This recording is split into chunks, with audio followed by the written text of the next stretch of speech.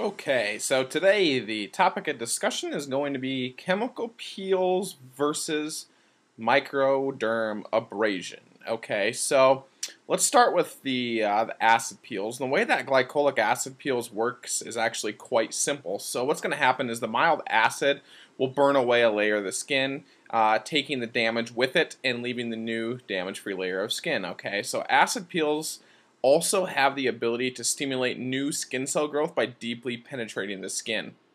Now, it also um, makes your skin produce collagen, which is very important for healthy skin. So while these peels can be used anywhere, most people use them typically on their face because that is the skin that is the most visible to the rest of the world.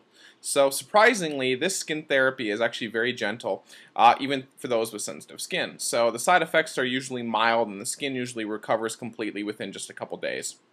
Um, if you're not happy with the initial results, then you can just repeat the process. Um, you know, once a week for the next couple weeks or so. But acid peels are very popular because of their price and how easy they are to administer. Uh, they come in a number of different concentrations, all the way from like 10% to 70%. And it's recommended that if you've never done a peel before, you should probably stick with one of the lower percentages just to double check how your skin will react. Um, make sure that you follow the directions exactly and be sure not to leave the peel on your skin for more than 10 minutes um, at a time. So even though these chemical peels are mild, uh, they're still an acid and should be treated with caution. It is always wise to seek the advice of your dermatologist to see if he or she thinks you can safely use a chemical peel. The doctor may also recommend you know that you use a peel for less than 10 minutes just to see what else happens.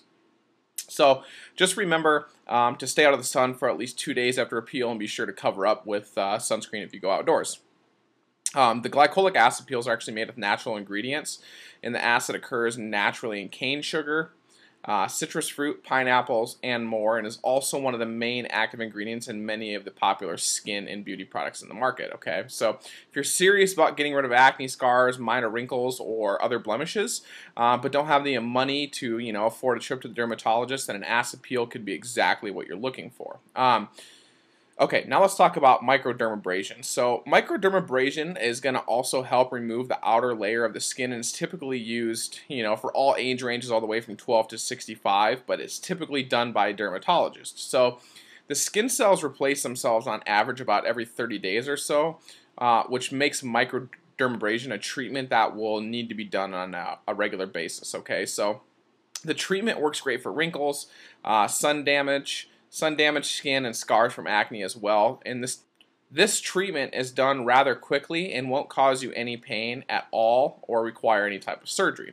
Depending on the sensitivity of your skin, you might be able to do the treatments as often as every couple weeks, but monthly is uh, is even doable. Okay, so microdermabrasion has a very rapid recovery rate. You know, unlike an acid peel, your skin might feel a little bit tight, some blood vessels might break, and bleeding is also at risk um, you're you're able to treat pretty much any part of your body with microdermabrasion, but just like the acid peels, the most common area treated is actually your face. So if you don't want to spend all the extra money going to the, to the dermatologist, um, you might want to check out some some acid peels. So if you check out the link below this video, you'll find out some of the uh, best glycolic acid peels.